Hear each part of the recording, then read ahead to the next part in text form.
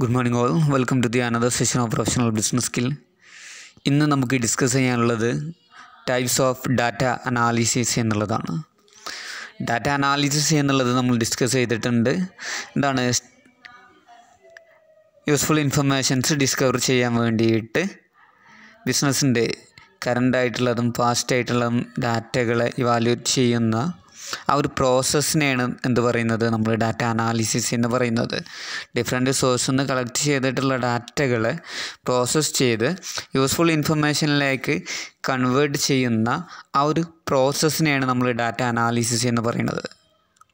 So ഒന്ന് നമുക്കതിന്റെ ടൈപ്സാണ് discuss ചെയ്യാനുള്ളത്.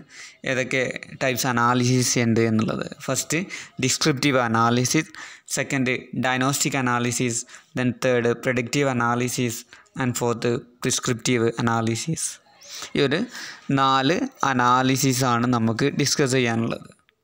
So എന്താണ് ഡിസ്ക്രിപ്റ്റീവ് അനാലിസിസ് എന്നുള്ളത് നമുക്ക് നോക്കാം. First one descriptive analysis so this is depend upon the what is happening എന്താണ് സംഭവിക്കുന്നുള്ള എന്താണ് സംഭവിക്കുന്നത് എന്നാണ് ഇതിൽ നമ്മൾ അനലൈസ് ചെയ്യുന്നത്. ഓക്കെ എന്താണ് കാര്യങ്ങൾ നടക്കുന്നത്? വാട്ട് ഈസ് ഹാപ്പൻഡ് എന്താണ് സംഭവിച്ചത്? അല്ലെങ്കിൽ വാട്ട് ഈസ് ഹാപ്പനിങ് എന്താണ് സംഭവിക്കുന്നത് എന്നുള്ള കാര്യങ്ങൾ നോക്കാനാണ് ഈ ഒരു അനാലിസിസ് നടത്തുന്നത്. Okay descriptive analysis describe or summarise the past and present data പാസ്റ്റോ അല്ലെങ്കിൽ പ്രസന്റ് ഡാറ്റ സമറൈസ് ചെയ്യാനാണ് ഈ ഒരു അനാലിസിസ് ഉപയോഗിക്കുന്നത്. So it help to understand what has happened in the past and what is happening currently ഇപ്പോൾ എന്താണ് സംഭവിക്കുന്നത്? പാസ്റ്റിൽ എന്താണ് സംഭവിച്ചത് എന്നുള്ളത് കാര്യങ്ങൾ മനസ്സിലാക്കാൻ വേണ്ടിയിട്ടാണ് ഈ ഒരു അനാലിസിസ് നടത്തുന്നത്. Descriptive statistics are use to analyse the data. Okay.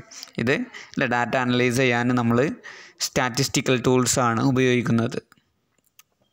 Okay. Average പോലുള്ള റേഞ്ച് അല്ലെ അത്തരത്തിലുള്ള സ്റ്റാറ്റിസ്റ്റിക്കൽ ടൂൾസ് ഉപയോഗിച്ചിട്ടാണ് നമ്മൾ എന്ത് ചെയ്യുന്നത്? ഡിസ്ക്രിപ്റ്റീവ് അനാലിസിസ് നടത്തുന്നത്. ഒരു എക്സാമ്പിൾ ഇവിടെ പറയുന്നുണ്ട്. മന്ത്ലി സെയിൽസ് റിപ്പോർട്ട് ഓരോ മാസത്തുള്ള സെയിൽസ് റിപ്പോർട്ട് അല്ല? അപ്പോൾ കഴിഞ്ഞ മാസത്തുള്ള നമ്മൾ നോക്കും എത്ര രൂപേന്റെ സെയിൽസ് ഉണ്ടോ എന്നുള്ളത് നോക്കും. അതുപോലെ തന്നെ ഇപ്പം ഈ ഒരു മാസം ഇതുവരെ ഇപ്പോൾ എത്ര രൂപേന്റെ സെയിൽസ് ഉണ്ട്? ഇപ്പം എത്ര സെയിൽസ് നടക്കണം എന്നുള്ള കാര്യങ്ങൾ നോക്കും. അല്ലേ? അത് അതിനെയാണ് എന്ത് പറഞ്ഞത് നമ്മൾ ഡിസ്ക്രിപ്റ്റീവ് അനാലിസിസ് കൊണ്ട് ഉദ്ദേശിക്കുന്നത്. What is happened and what is happening ഇതാണ് കാര്യമായിട്ട് ഇതിൽ നോക്കുന്നത്. എന്താണ് ഇപ്പോൾ സംഭവിക്കുന്നത്? എന്താണ് സംഭവിച്ചത് എന്നുള്ള കാര്യങ്ങളാണ് കൃത്യമായിട്ട് ഇതിൽ അനലൈസ് ചെയ്യുന്നത്. Okay the next diagnostic analysis diagnostic analysis കൊണ്ട് ഉദ്ദേശിച്ചത് വൈ ഇറ്റ് ഈസ് ഹാപ്പനിങ് എന്തുകൊണ്ടാണ് ഇങ്ങനെ സംഭവിക്കുന്നത് എന്നുള്ളത്. അല്ലേ കാര കാരണങ്ങളാണ് നമ്മളിവിടെ നോക്കുന്നത്. Diagnostic analysis help to find out the reason for happening things revealed in descriptive analysis descriptive അനാലിസിസിലൂടെ കണ്ടെത്തിയിട്ടുള്ള ആ ഒരു കാര്യങ്ങൾ എന്താണ് സംഭവിക്കുന്നത്? ഓക്കെ അതിന്റെ റീസണാണ് ഇവിടെ നമ്മൾ നോക്കുന്നത്. അതിന്റെ കാരണങ്ങൾ എന്ത് എന്നാണ് ഇവിടെ നമ്മൾ നോക്കുന്നത്. ആ കാരണങ്ങൾ ചിലപ്പം പോസിറ്റീവ് ആവാം ചിലപ്പം എന്താവാം അത് നെഗറ്റീവ് ആവാം. എന്തുകൊണ്ടാണ് ഇങ്ങനെ സംഭവിക്കുന്നത് എന്നുള്ളതാണ്. ചിലപ്പോൾ നമ്മൾ ഡിസ്ക്രിപ്റ്റീവ് അനാലിസിൽ നോക്കി എന്താണ് സംഭവിക്കുന്നത് എന്നുള്ളത്. ഓക്കെ ചിലപ്പം അല്ലേ സെയിൽസ് കൂടാം ചിലപ്പം സെയിൽസ് കുറയാം. ഓക്കെ നമ്മളതിനെ ഡിസ്ക്രിപ്റ്റീവിന്റെ എക്സാമ്പിൾ അതാണ് പറഞ്ഞത്. സെയിൽസ് കൂടാം ചിലപ്പം സെയിൽസ് കുറയാം എന്നുള്ളത്. എന്തുകൊണ്ടാണ് സെയിൽസ് കൂടുന്നത്? എന്തുകൊണ്ടാണ് സെയിൽസ് കുറയുന്നത് എന്നുള്ളതാണ് ഇവിടെ നമ്മൾ അനാലിസിസ് നടത്തുന്നത്.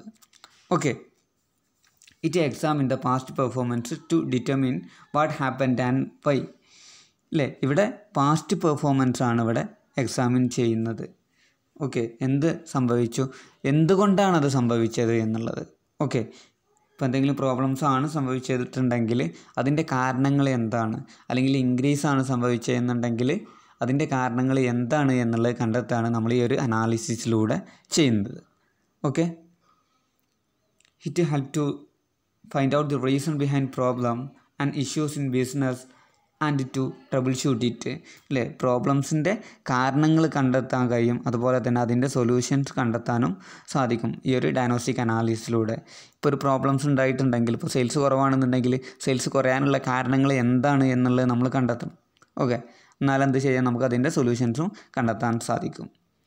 ഒരു എക്സാമ്പിൾ ഇവിടെ പറയുന്നുണ്ട്. Sales analysis to find out the cause of low sales volume in the past quarter അല്ലേ കഴിഞ്ഞ കാലഘട്ടങ്ങളിൽ അല്ലെങ്കിൽ കഴിഞ്ഞ ക്വാർട്ടറിൽ എത്ര അല്ലേ എന്തുകൊണ്ടാണ് സെയിൽസ് കുറഞ്ഞത് എന്നുള്ളത്?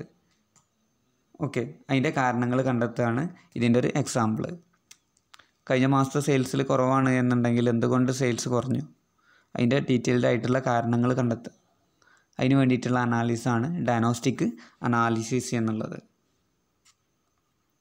The next predictive analysis what is likely to happen എന്നാണ് പറഞ്ഞത്. എന്താണ്? എന്താണ് ഫ്യൂച്ചറിൽ സംഭവിക്കേണ്ടത്?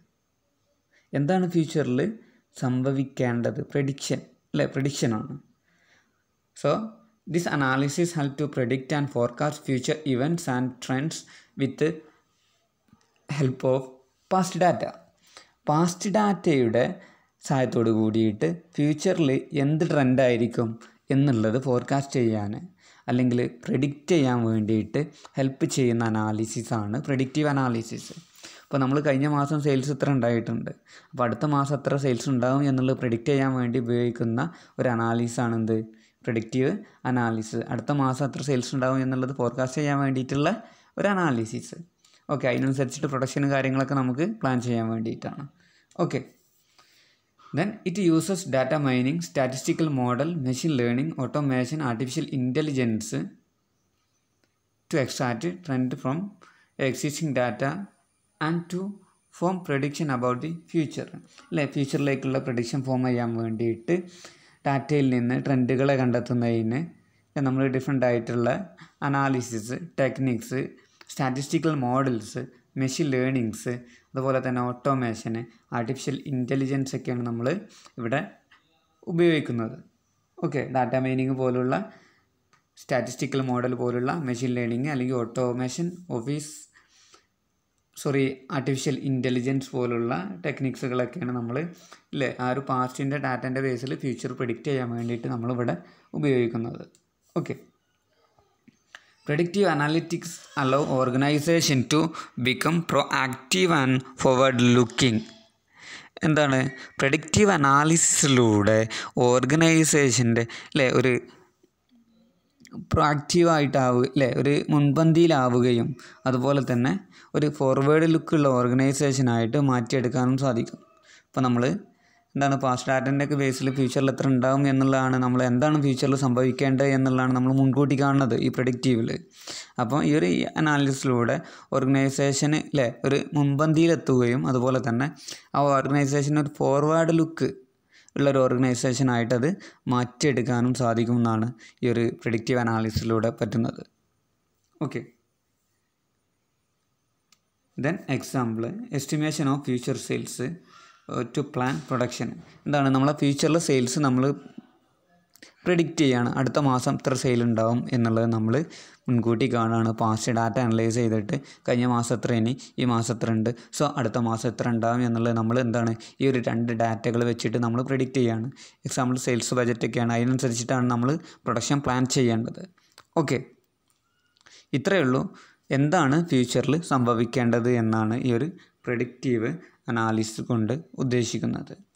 സോ നമ്മൾ ഡിസ്ക്രിപ്റ്റീവ് പറഞ്ഞ ഡിസ്ക്രിപ്റ്റീവ് കൊണ്ട് ഉദ്ദേശിക്കുന്നതെന്ന് വെച്ചാൽ എന്താണ് ഇപ്പോൾ സംഭവിക്കുന്നത്? അല്ലെങ്കിൽ പാസ്റ്റിൽ എന്താണ് സംഭവിച്ചത് എന്നുള്ളത് കണ്ടെത്താൻ വേണ്ടിയിട്ടുള്ള അനാലിസിസ് ഓക്കെ ജസ്റ്റ് സെയിൽസ് കാര്യങ്ങൾ ദെൻ ഡയഗ്നോസ്റ്റിക് എന്തുകൊണ്ടാണ്?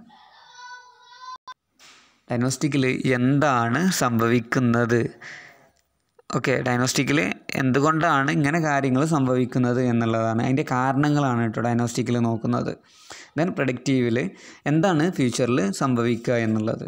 ശ്രദ്ധിക്കുക ഡിസ്ക്രിപ്റ്റീവ് എന്താണ് സംഭവിക്കുന്നത് ഡയഗ്നോസ്റ്റിക് അല്ലെ എന്തുകൊണ്ടാണ് അങ്ങനെ സംഭവിക്കുന്നത് അതിന്റെ കാരണങ്ങൾ എന്താണ് എന്നുള്ളതാണ് ഡയഗ്നോസ്റ്റിക്കിൽ നമ്മൾ നോക്കുന്നത്. ദെൻ പ്രഡിക്റ്റീവിൽ ഫ്യൂച്ചറിൽ എന്താണ് സംഭവിക്കുക എന്നുള്ളതാണ് നമ്മൾ ഫോർകാസ്റ്റ് ചെയ്യുന്നത്.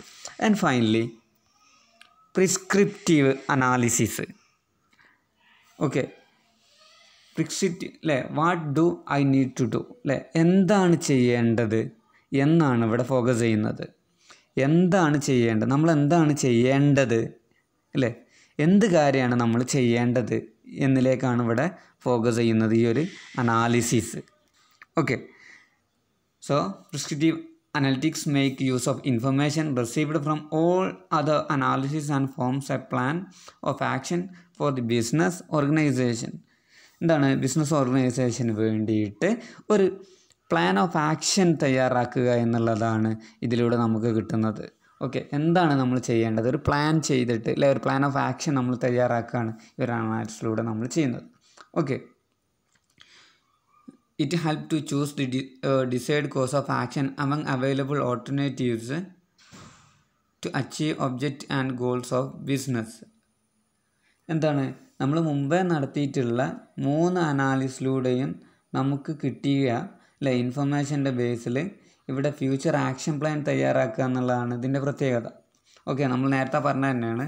അല്ലെ എന്താണ്?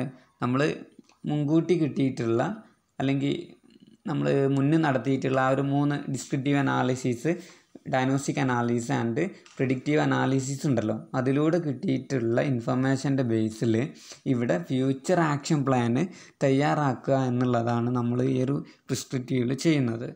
It help to choose the decide course of action among the available alternatives to achieve the objectives and goals of business അല്ലെ? നമ്മുടെ ബിസിനസ് ഓർഗനൈസേഷന്റെ ഗോളും ഒബ്ജക്റ്റീവും അച്ചീവ് ചെയ്യാൻ വേണ്ടിയിട്ട് ഒരുപാട് ആൾട്ടർനേറ്റീവ്സ് ഉണ്ട്.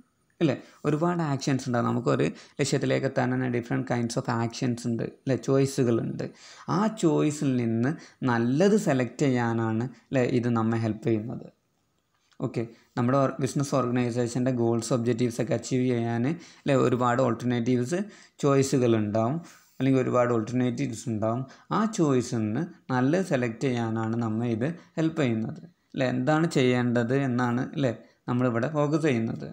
Then it also prescribe step to avoid future problems and loss അല്ലെ ഫ്യൂച്ചറിൽ ഉണ്ടാവാനുള്ള പ്രോബ്ലംസൊക്കെ അവോയ്ഡ് ചെയ്യാൻ ഇത് കൊണ്ട് സാധിക്കുന്നു.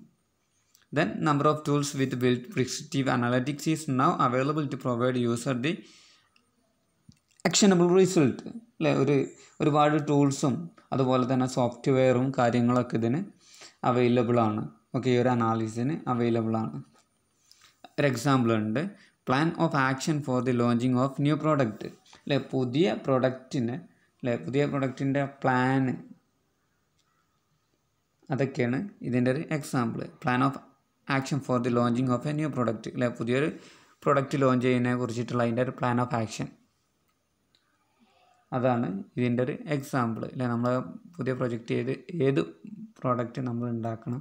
അല്ലേ അതുമായിട്ട് ബന്ധപ്പെട്ടിട്ടുള്ള പ്ലാൻ ഓഫ് ആക്ഷനൊക്കെ ഈ ഒരു പ്രിസ്ക്രിപ്റ്റീവ് അനാലിസിസിന്റെ എക്സാമ്പിളാണ് ഇത്ര കാര്യങ്ങളാണ് ഇന്ന് ഡിസ്കസ് ചെയ്യാനുള്ളത്. ടൈപ്സ് ഓഫ് ഡാറ്റ അനാലിസിസ് ആണ്.